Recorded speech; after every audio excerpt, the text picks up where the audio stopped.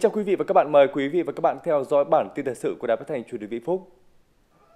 Hiệp hội Doanh nghiệp tỉnh phối hợp với công ty cổ phần Misa tổ chức hội nghị đánh giá mức độ chuyển đổi số, chuyển đổi số trong lĩnh vực tài chính, chứng từ điện tử, khấu trừ thuế thu nhập cá nhân. Hội nghị thu hút sự tham gia của đại diện hơn 40 doanh nghiệp trong và ngoài nước đang hoạt động sản xuất kinh doanh trên địa bàn tỉnh.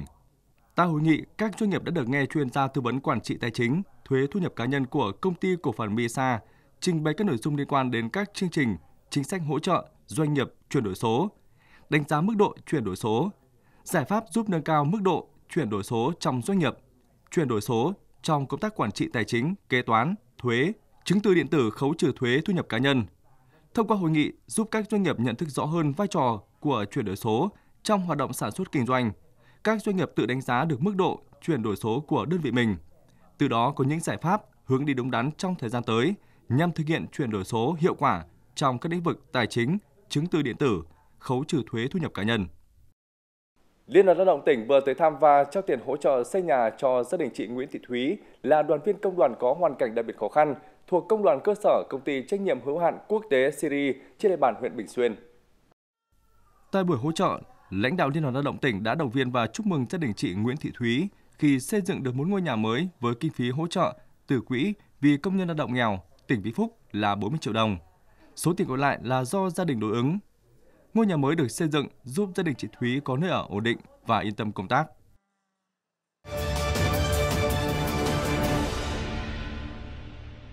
Thưa quý vị và các bạn,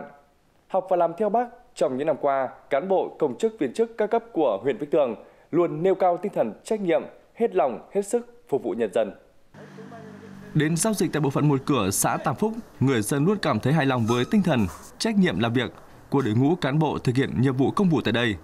Các thủ tục được niêm yết công khai, các vấn đề vướng mắc được tận tình hướng dẫn, hồ sơ của công dân luôn được giải quyết nhanh chóng. Thì đã có sự chuẩn bị từ nhà. Thế bây giờ mình là có cái gì đến mà cái là còn thiếu sót một cái gì là các chị trực tiếp được hướng dẫn cho rất nhiệt tình, rất chú đáo. Thế mà cũng thái độ của các chị là nói chung là cởi mở, à, hồ hởi với ờ, nhân dân. Học bác tinh thần phục vụ nhân dân, huyện Vĩnh Tường chỉ đạo các địa phương, đơn vị khắc phục những hạn chế yếu kém trong quản lý, điều hành, đổi mới phong cách, lề lối làm việc,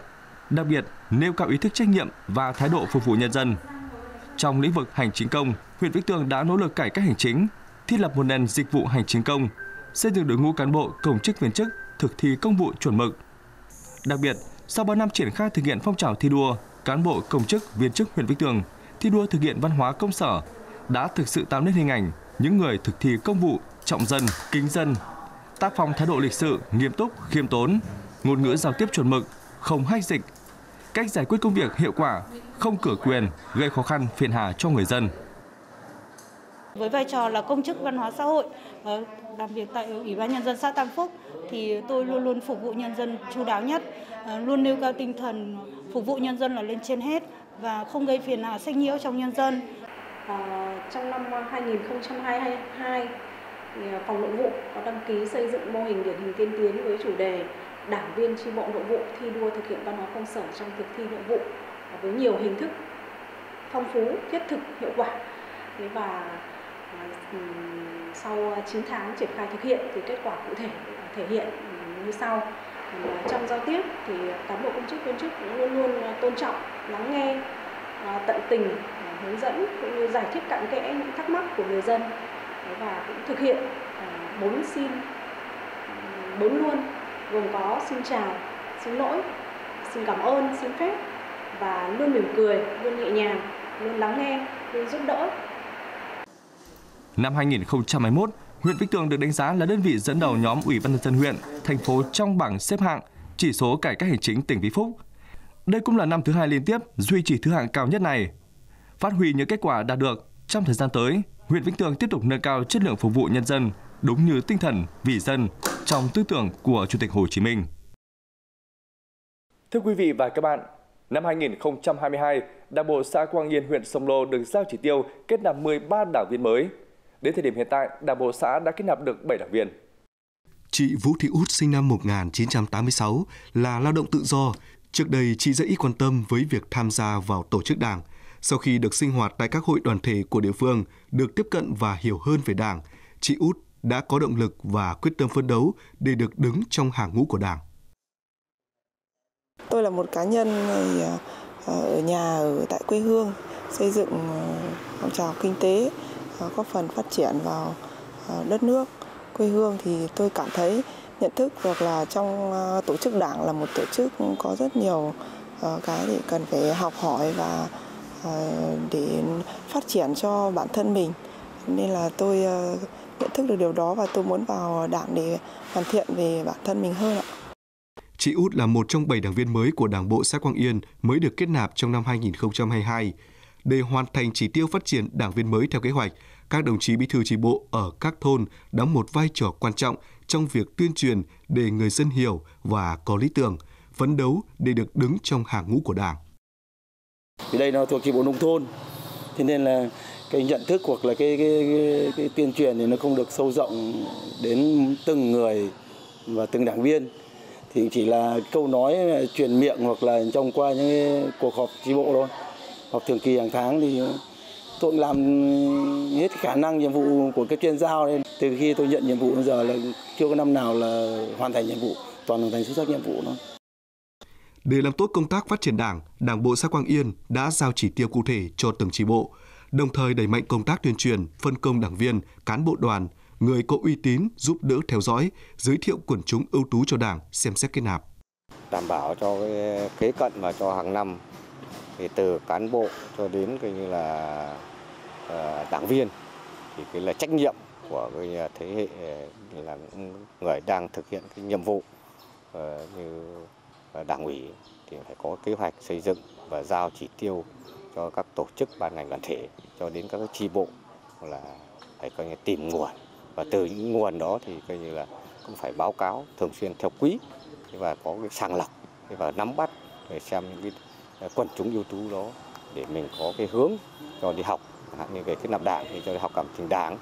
và theo dõi và phân công đảng viên trực tiếp để coi như là giúp đỡ à, giúp đỡ. Ờ, khi đảm bảo đủ tiêu chuẩn điều kiện thì cũng là để tạo cái điều kiện tốt nhất để người ta ờ, làm hồ sơ để kết nạp.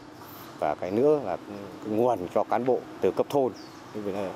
ờ, là gọi lực lượng bán chuyên trách bây giờ cũng rất là khó khăn. Về thu nhập đối với lại cái phụ cấp thì nó thấp nên là cũng phải sàng lọc và có kế hoạch để tìm cái nhân tố ngay từ ở dưới cơ sở. Thế và coi như có những cái hướng công tác tư tưởng và có những cái động viên và coi như có những cái bố trí sắp xếp là cho đi học Đấy, các cái lớp cho nó phù hợp để sau này về bố trí có cái nguồn cho những cái nhiệm kỳ tiếp theo. Với những giải pháp cụ thể, công tác phát triển Đảng trên địa bàn xã Quang Yên đang có nhiều chuyển biến tích cực. Đảng bộ xã Quang Yên phấn đấu hoàn thành 100% chỉ tiêu kết nạp đảng viên mới theo kế hoạch,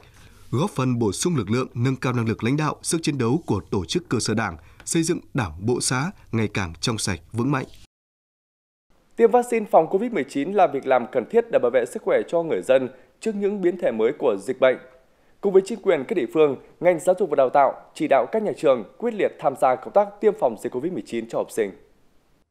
Nhận thức rõ tầm quan trọng của việc tiêm vaccine phòng COVID-19 đối với sức khỏe của các em học sinh, trường tiểu học Hoàng Đan, huyện Tam Dương đẩy mạnh công tác tuyên truyền, tạo sự đồng thuận của phụ huynh cho con em mình thực hiện tiêm phòng đầy đủ, đảm bảo an toàn phòng dịch khi đến trường. Đối với trẻ tiêm mũi 1 đạt tỷ lệ 95%, ờ, trẻ tiêm mũi 2 đạt tỷ lệ 21%. Còn số trẻ chưa đủ điều kiện tiêm thì chúng tôi sẽ tiếp tục giả soát và tuyên truyền vận động để mà phối kết hợp cùng với các đơn vị y tế để tiêm cho các cháu kịp thời để làm các cháu đủ đảm bảo điều kiện về sức khỏe và đảm bảo cái điều kiện an toàn. Đối với trường Trung học cơ sở Hoàng Đan, đến nay tỷ lệ tiêm vaccine hai mũi cơ bản cho các em học sinh khối 7, 8, 9 đã đạt 100%. Nhà trường phối hợp chặt chẽ với trạm y tế xã tổ chức tiêm phòng đảm bảo đúng quy định, theo dõi sức khỏe cho học sinh sau tiêm và hướng dẫn các em tuân thủ các biện pháp trong công tác phòng chống dịch. Phối hợp với chính quyền địa phương xã và trạm y tế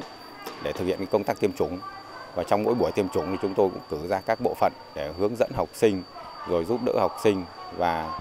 à, hỗ trợ các cán bộ y tế trong công tác tiêm chủng. Phối hợp với nhà trường để tuyên truyền với các phụ huynh học sinh để nắm bắt được cái tác dụng của